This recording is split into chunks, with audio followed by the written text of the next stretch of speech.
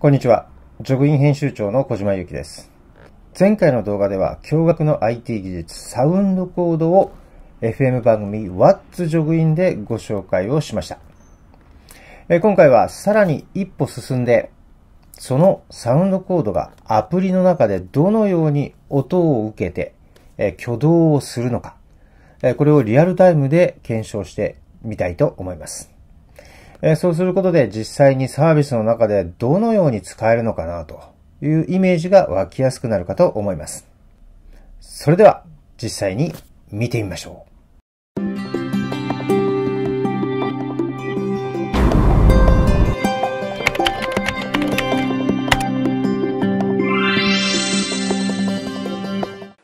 今回の実験はあるオフィスをお借りしました。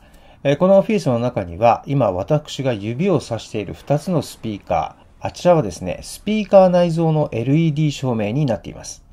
写真で見てみましょう。真ん中の部分がスピーカーですね。そしてこちらのスピーカーからサウンドコード入りの音声を出します。実際には何らかの音楽に埋め込むことも可能なんですが、今回は無音の状態でサウンドコードのみ発信したいと思います。アプリを立ち上げて、はい、反応しました。サウンドコードに反応して、指定の URL にスマートフォンが飛びました。今度は違う URL を指定してみましょう。はい、ただいま反応しました。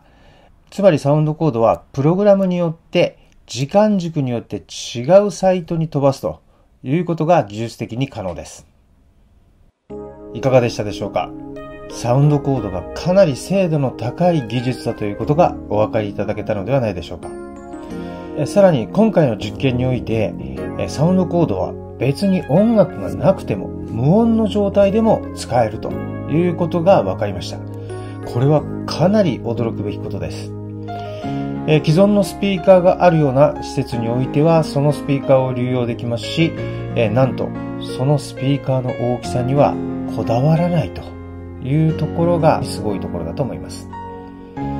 今後このチャンネルではサウンドコードのさらなる具体的な使い方というのを検証してみたいと思います。今後の動画を楽しみにお待ちください。それでは次回の動画でお会いしましょう。ジョグイン編集長小島ゆきでした。バイバイ。